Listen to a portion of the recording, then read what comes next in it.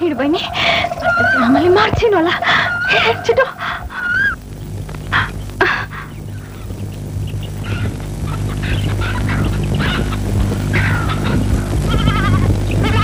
आइपुग्नु भयो महारानी। सारा गाउँ सारेर तँलाई थाहा छैन?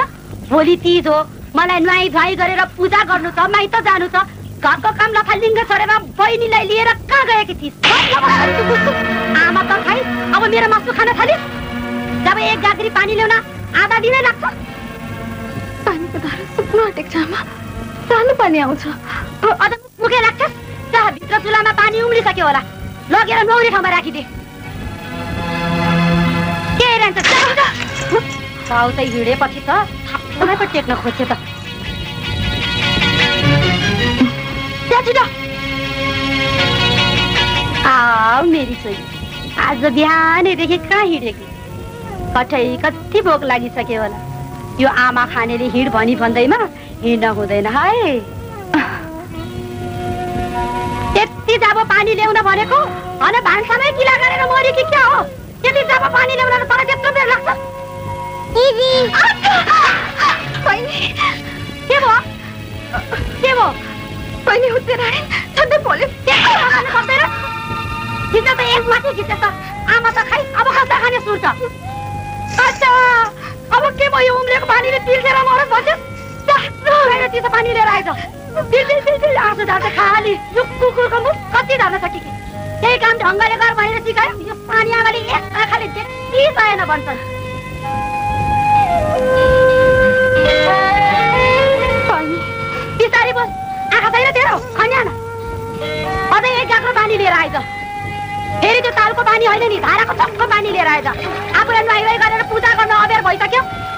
अनि आएर घिच्नु बात जाति कति बेर लगाए कि अल्छिनी कहीँ नभए कि अल्छिनी जाति के हेरिरहे कि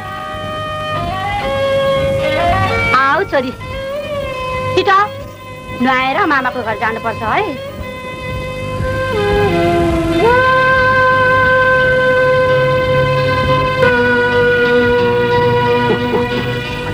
यसको बाउलाई गएर मागु भनेको खै भ्याउँदै भ्याएको छुइनँ चल ल ल बगेको गण्डकी तिम्रो जवान थियो मलाई बन्दकी। आयो! जाडो लाग्दैन कि क्या हो? फुलको कोपिला फुल्ने बेलामा ठ्याम्मै जाडो लाग्दैन अरे नि हो। नमस्ते सर। नमस्ते। ए साह्रै पो उम्ले त तिमीहरूको पैसा त। चेलीबेटीहरूको मान राख्नु सिक बाबु। आ देखाउँदा हेरेकोलाई हेरिदिएर मान राख्न खोजेको हो मास्टर। किन रिसाउनु भएको। आ साह्रै बोर्ग चाहिँ मास्टरले जाउँ पछि जिस्काउँला सिसम तिम्रो अरू कुनै गतिलो ढङ्गको कपडा छैन बा। छैन भने बालाई भन। सानीमाले त खै ढुङ्गामा रुख उम्रन्दैन सानीमाको काखमा टोरी हुर्कन्दैन भन्छन्। जसरी भए पनि एउटा बर्को त ओड बा।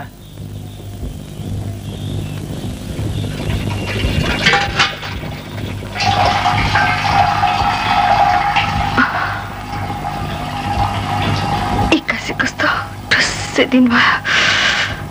कस्तो जाडो। घाम लागिदिन नि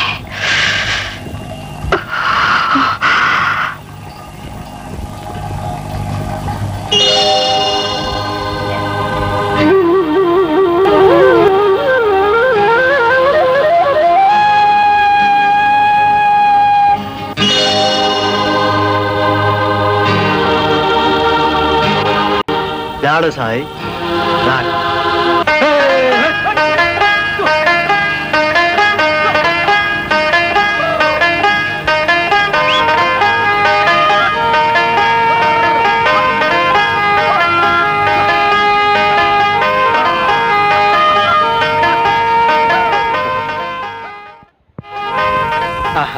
कति राम्रो देखियो यो खास्टोले।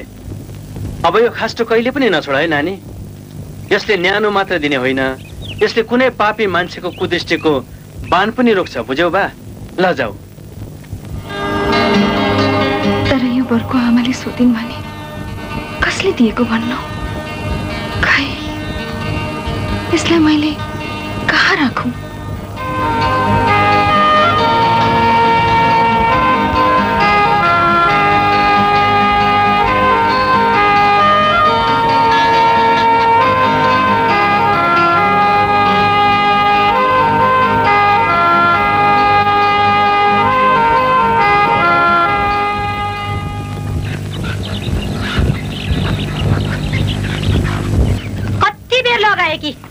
वरिपरि आँगन भित्र बाहिर सिनिक्क पारेर राख्लिस् बुझिस्?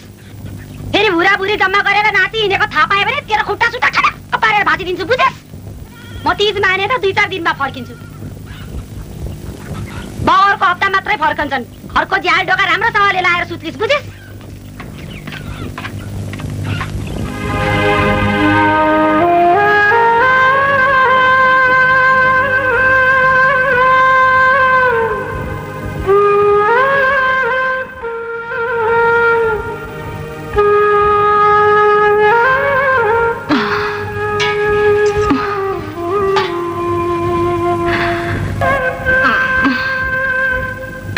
खाएरै गएछन्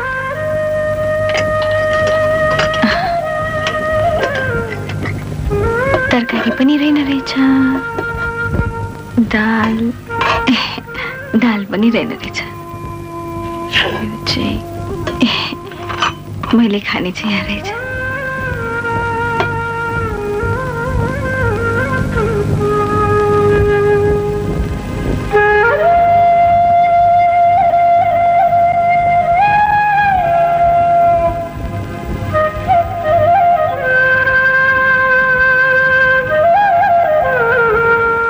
त पनि खान्छस् ला खा अलिकति